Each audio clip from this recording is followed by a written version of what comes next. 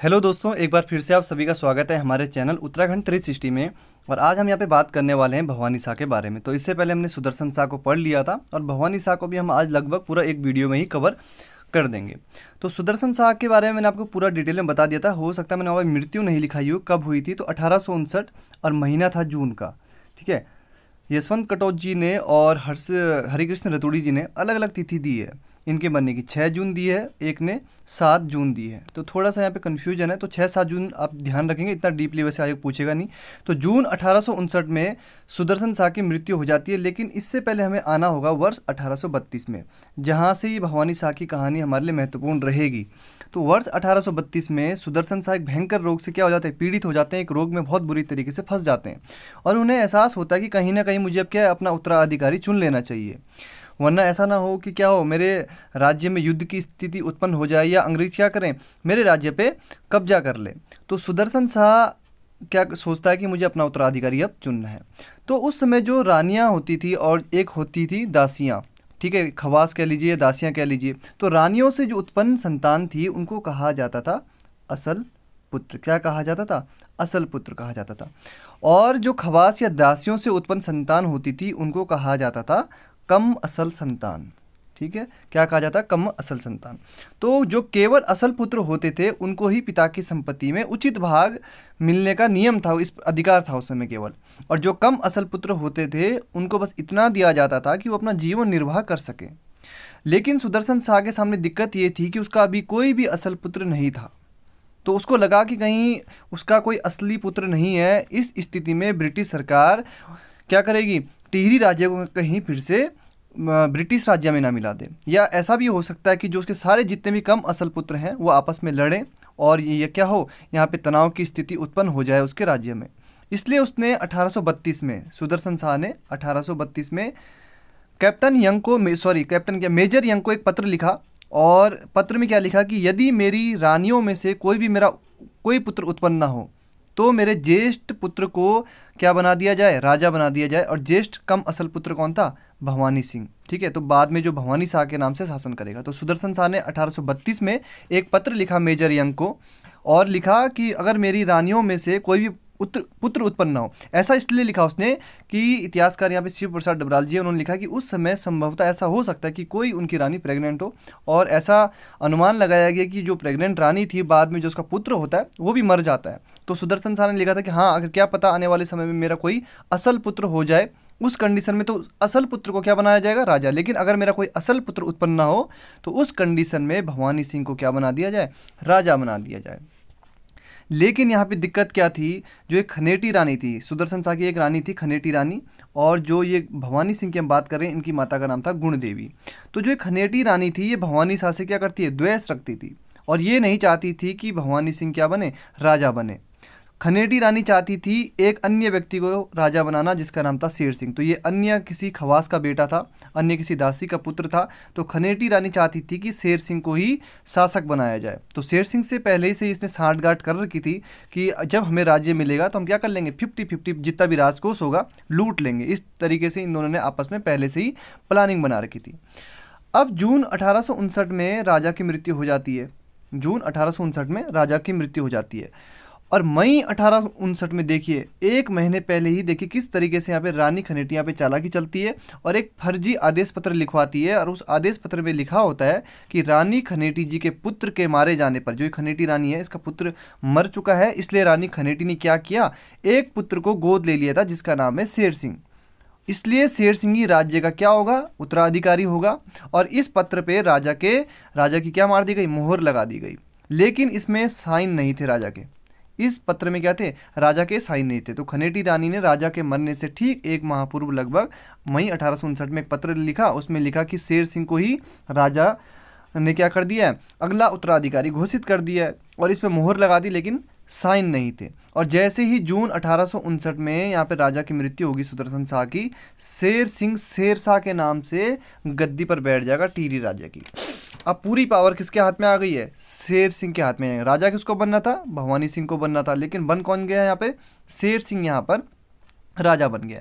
अब थोड़ा सा भवानी सिंह पे आ जाते हैं। भवानी सिंह एक बहुत ही साधु प्रकृति का राजा था। छल कपट इसके मन में बिल्कुल नहीं था। अपने भाइयों के प्रति भी इसके मन में कोई द्वेष नहीं था। और बाद में जब ये राजा बन जाएगा तो शेर सिंह से ये कोई भी द्वेष नहीं रखेगा इसके प्रति, बल्कि इसके साथ क्या करेगा? अच्छा व्यवहार ही करेगा।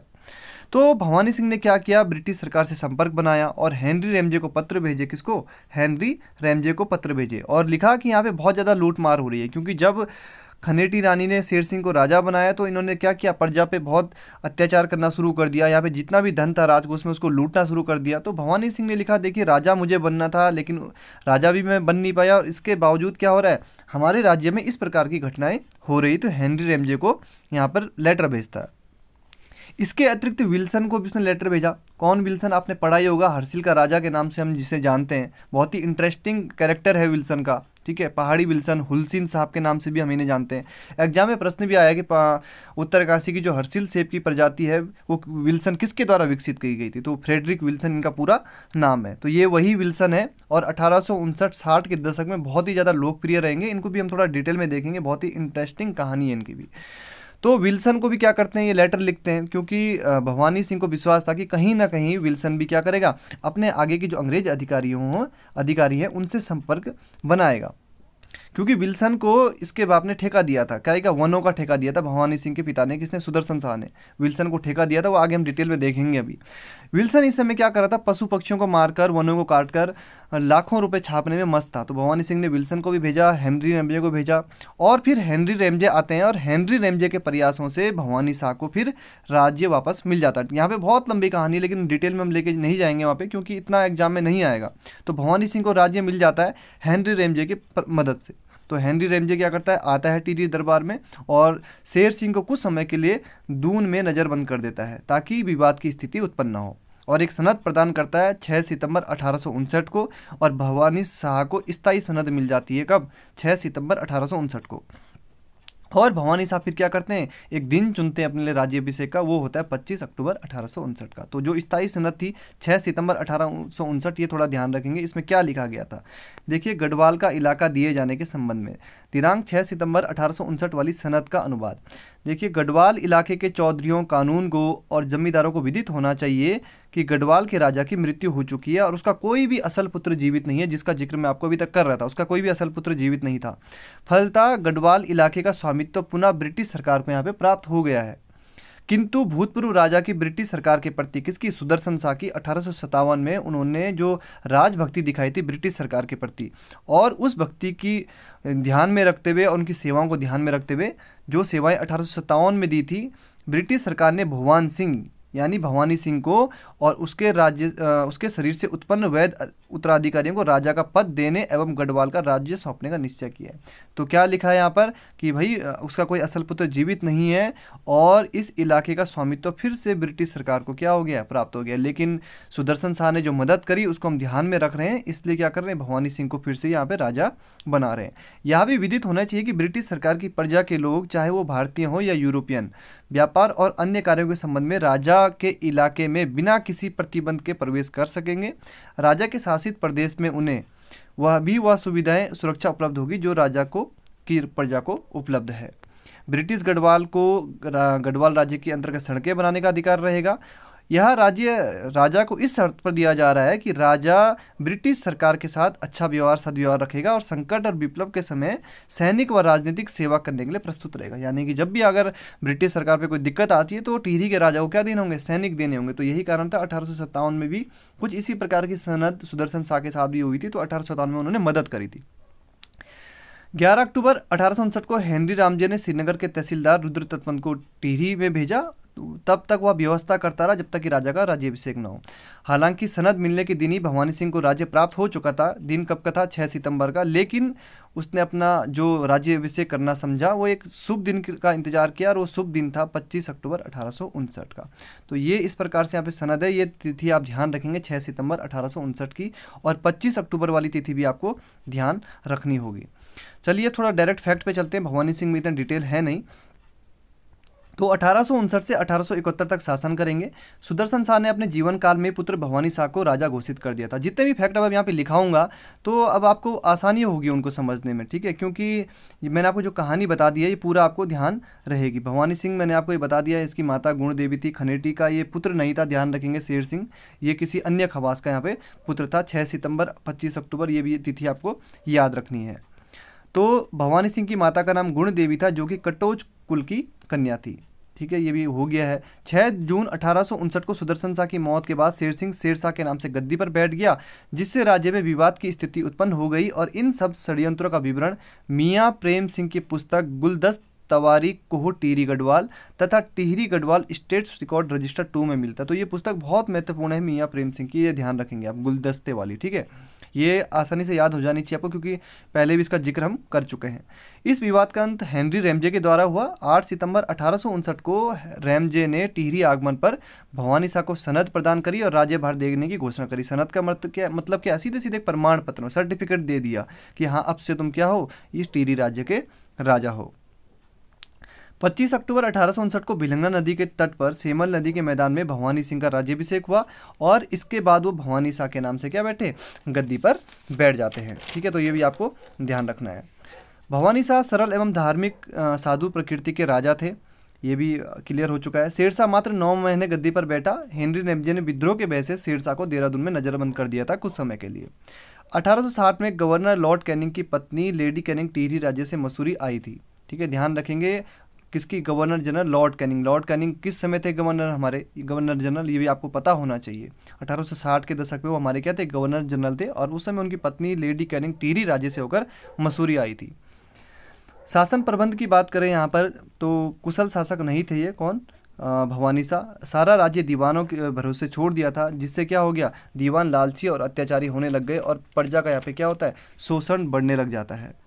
दीवान की बात करें तो यहाँ पे रामकृष्ण पेनुली थे और उनकी मृत्यु के बाद श्रीचंद को यहाँ पे दीवान बनाया जाता है।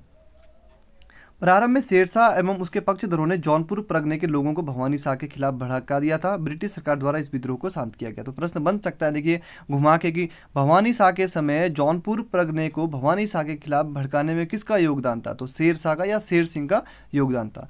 राज्य की आय का मुख्य स्रोत क्या है? भूमिकर था। 1861 में हेनरी रेमजे ने अठूर के किसानों के लिए 12 आनी बीसी 12 आना बीसी की भू व्यवस्था करवाई थी और इसका ज़िक्र हमने सुदर्शन शाह के समय भी किया था। अठूर में हमने क्या पढ़ा था? उस समय एक नेता का नाम पढ़ा था, एक व्यक्ति का नाम पढ़ा था, बद्री सिंह असवाल। ठीक है, बद्री सिंह असवाल ने क्या किया था? किसानों के लिए वहाँ पे आंदोलन किया था। बद्री सिंह असवाल ने रेमजे को भी उस समय पत्र लिखे थे और कहा था कि यहाँ पे किसानों के साथ बहुत ज़्यादती हो रही है, ठेकेदार जो जागीरदार लोग हैं, वो प्रजा का उत्पीड़न कर रहे हैं। और तिहार टैक्स वसूल रहे हैं, उस समय मैंने आपको बताया था, एक बटे तीन हिस्सा तिहार टैक्स वसूला जा रहा है। तो वो तिहार टैक्स खत्म हुआ था। तो बारह आना बीसी की यहाँ पे व्यवस्था होती है, इसका मतलब क्या है? बीस नाली भूमि पर बारह आना कर देना है। बीस नाली भूमि पर, नाली भूमि पर बारह आना टैक्स देना है। तो इससे यहाँ पे प्रजा शांत हो जाती है। तो अठारह सौ इकसठ में किसके प्रयासों से बारह आना बीसी की व्यवस्था लागू हुई? हेनरी रेमजे के प्रयासों से यहाँ पे लागू हुई। विवाह की बात करें तो मंडी की दो राजकुमारियों से हुआ। तो नॉर्मल सी बात है, दो चार विवाह तो इनके रहते ही थे। मंडियाली रानी, जो बड़ी रानी थी, इनका पुत्र प्रताप शाह ठीक है, अगले राजा हमारे यही होने वाले हैं। और हिंडरू जी रानी छोटी रानी थी, इनका पुत्र विक्रम सिंह। इसके अतिरिक्त भवानी शाह के छः पुत्र और भी थे। तो मंडी की दो राजकुमारियों से विवाह। मंडियाली रानी, आपको यहाँ पे ध्यान रखना क्योंकि ये प्रताप शाह से हमारा कनेक्शन रहेगा इनका। वनों के ठेके की बात करें तो 1860 में विल्सन को चार वर्ष के लिए वनों का ठेका दिया गया। फिर ब्रिटिश सरकार ने अठारह सौ चौंसठ में दस हज़ार रुपये प्रतिवर्ष ठेका ले लिया इन वनों से अंग्रेज़ों को खूब कमाई हुई। जिस समय ये दौर चल रहा था, अठारह सौ अठावन उनसठ, साठ, पैंसठ के वक्त की बात है तो उस समय एक पहाड़ी विल्सन फ्रेडरिक विल्सन के नाम से एक व्यक्ति था। इसने इतनी भयंकर अंधाधुंध कमाई करी, इसने अठारह सौ अठावन में पहले तो उनसे ठेका ले लिया था किससे सुदर्शन शाह से ठेका ले लिया था। अठारह पे सुदर्शन शाह की मृत्यु हो जाती है। फिर अठारह सौ साठ में फिर विल्सन ने क्या किया?